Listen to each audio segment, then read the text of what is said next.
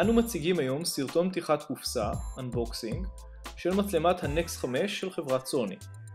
בסרטון נראה את המצלמה והאביזרים המגיעים איתה.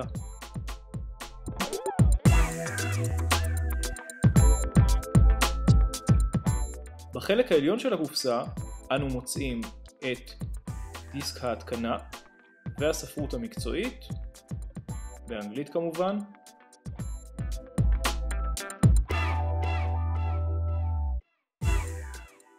כבל USB, מטען לסוללה, פלאש חיצוני המגיע בתוך קופסת אחסון קטנה,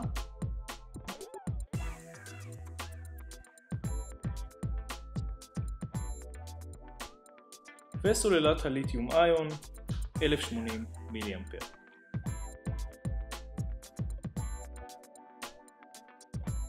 וזאתי מצלמת הנקס 5 של סוני, פרטים נוספים בסקירה המלאה שלנו מגה פיקסל co.il